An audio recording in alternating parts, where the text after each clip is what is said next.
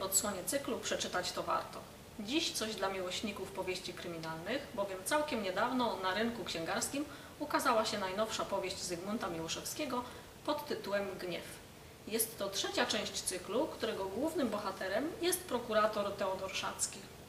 Powieść ta, podobnie jak filmy Hitchcocka, zaczyna się od trzęsienia ziemi, by potem emocje i napięcie już tylko rosło. Oto nieskazitelny pod każdym względem, prawy, szeryf polskiego wymiaru sprawiedliwości dopuszcza się zbrodni. Czy to możliwe? Zadajemy sobie pytanie. I co takiego musiało się wydarzyć w życiu Szackiego, że ten zaprzepaścił całe swoje dotychczasowe, jakże błyskotliwe życie i karierę? A może jest to blef?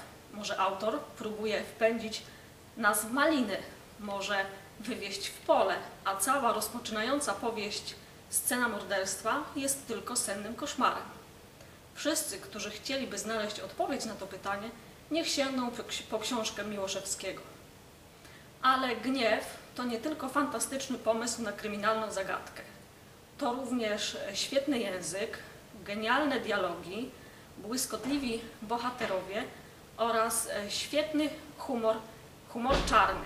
Na uwagę zasługuje również fakt, że Miłoszewski w powieści tej podejmuje trudny i niespotykany temat przemocy domowej, która jakże często rodzi zbrodnie.